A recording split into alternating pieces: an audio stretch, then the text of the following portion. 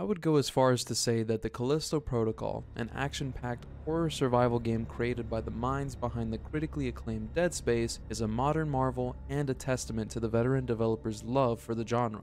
But it isn't without its faults, and there are quite a few from my perspective. I bought the game day one on PC and have experienced all the ups and downs of the game's bugs and its patches. I also finished the game on normal difficulty a few nights ago, and after letting it sit, I'm ready to add my two cents. If you're new to the channel, welcome. I'll be going over pros and cons from the visuals, gameplay, sound design, and story. So, without further ado, let's jump into it. Starting with the most apparent of the game's features, the visual design is truly worthy of being deemed next gen, with highly detailed character and weapon models, along with a series of dark, claustrophobic, and uncanny valley-esque levels. In regards to special effects and settings, there are many options to tweak to your liking. For example, the motion blur in Callisto is very high quality if you choose to use it. And if you have an AMD graphics card, there are further quality settings slash boosts that you could apply. I, however, was not able to do so since I own a GTX graphics card. Upon release on PC, Callisto had intense issues with frame stuttering and even now after many performance patches from the developers, still does. I usually play with relatively balanced settings, preferring performance over ultra high quality and such, but even with my settings at the lowest, my game would drop from around 60 frames to 40, which is not only very jarring and visually unappealing, but makes reacting to the gameplay itself much more difficult. The camera angle is kept close to your character in order to maintain that tight, anxious feeling but in some instances it works against you, It's specifically in combat with multiple enemies in closed off hallways. The gore on enemies is raw and visceral, very reminiscent of Dead Space's dismemberment, and is one of the coolest things to look at. I did notice that characters' facial emotions don't always shine through due to the models having what I call dead fish eyes, and sometimes lacking certain effects. In later emotional scenes, it's hard to empathize with a character who's sad and crying because there aren't any tears rolling down their face and their eyebrows don't knit together. I would give the visuals a solid 7.8 out of 10. Very good, but with a few issues that detract from the experience.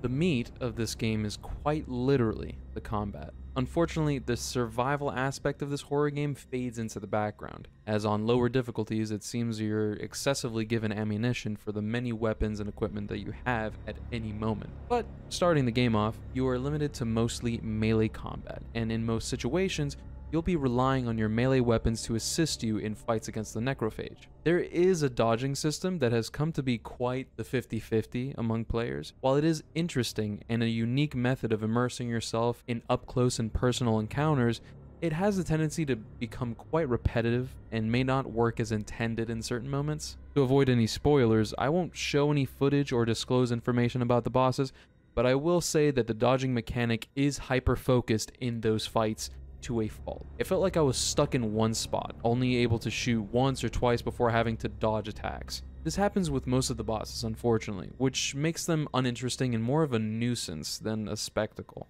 Just constantly dodging with very little room for any other action is not the most enjoyable form of combat in my opinion. In other regards though, I do enjoy pulling off dodges with gun and melee combos on groups of enemies. In those instances, it reminds me a bit of a fighting game. There are suggestions for stealth, but more often than not, I've found it to not be properly balanced. Sometimes it'll be too easy, others almost impossible. It's more of an inclusion than a feature. There's an awfully abundant amount of vents and tight passages to crawl through, which gets to be a bit annoying if you need to backtrack for an objective. I'm gonna give gameplay another 7.8. It's enjoyable and it scratches that suspenseful horror itch, but there are a few unrefined mechanics crunches, splatters, gunshots, and thwacks, every bit of physical content has incredible detail. Where would games be without the time and effort to recreate realistic sounds and effects for characters and environments? Callisto doesn't pull any punches when it comes to sound design. The ambience of the game's many levels send chills down your spine with eerie orchestral instruments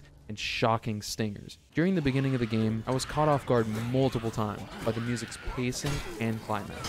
However, there were moments later in the game where I found the score to be a bit repetitive, specifically in cutscenes including your main character. There would be 9 times out of 10 a stinger sound, which lessened the effectiveness of the trope. For the remainder of the game, I grew accustomed to it and it lost its shock factor. Weaponry, character, and environment sounds such as melee attacks, vaulting, footsteps, and your character heavily breathing take the cake, as the audio behind it is very high quality. It's always satisfying to hear the squidging on guts as you stomp a necrophage for loot, and the digital ping as you pick up a health pack from it. Music in Callisto does strike me as more of your generic horror score, but it still does the job of inducing fear and anxiety, albeit at the cost of sounding unique. Voice acting is done by some top-notch actors from some of your favorite shows and games including The Boys in Call of Duty World War II, and is packed with realistic tonality, inflections, and emotions. For sound design, I'm gonna go ahead and give it an 8.2. Besides my nitpick about stingers and the actual music, everything else is fantastic. Saving the most important for last, story obviously serves the most vital role in Callisto's foundation, and there's a lot to unpack. As mentioned before, I won't be spoiling anything in case any of you guys would like to play the game yourselves, but I will give a gist. You play as Jacob Lee, a run-of-the-mill space trucker making deliveries with his buddy. One day you get an order for a shipment from a prison. It's our last run, Max. I'm done talking about it. Then what do you want me to say? How about thank you? Because after this job, we're never gonna have to work another day in our lives. All seems fine and dandy until you're boarded by a space terrorist organization, supposedly looking for said cargo. We got trouble. What's up? We've been boarded. Oh shit. The other way? Yeah, I'm guessing. Alright. Search the hold. It's gotta be here somewhere. Things go awry, and you find yourself crash landed on Callisto, the moon of Jupiter. You wake up to the prison's captain of security rescuing you, but the captain receives a call and decides to imprison you instead.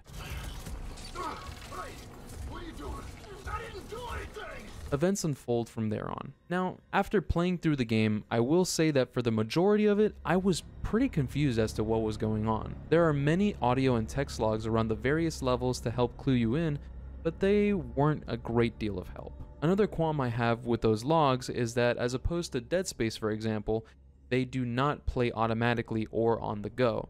So you would need to pick them up, head to the menu, select and wait for the audio to play, effectively halting the pacing of the game. Towards the end, with most of your time wandering around the game just doing things people tell you to do, you get an exposition dump, which personally I dislike as I feel it's a cheap way to explain the story without the build up. The story in total leaned more towards the generic, although it did have a few cool moments. So for the story, I think I'm going to be giving it a 6.9 out of 10. While it is an enjoyable game, it treads a lot of ground that's already been covered. I think I'm going to give Callisto a 7 out of 10. It feels like a modern ode to Dead Space, but with a few more and a few less unique properties, if that makes any sense. I hope you enjoyed my review. If there's anything I left out, please feel free to yell at me in the comments. And if you did, in fact, enjoy the video, then I'd greatly appreciate if you could hit like and subscribe with the bell on for notifications. The next game I'll be reviewing is Dead Space Remake. I just beat it today and it's absolutely phenomenal. I'm excited to get that video out to you guys as soon as possible. Love you guys, stay safe, and I'll catch you in the next one. Deuces.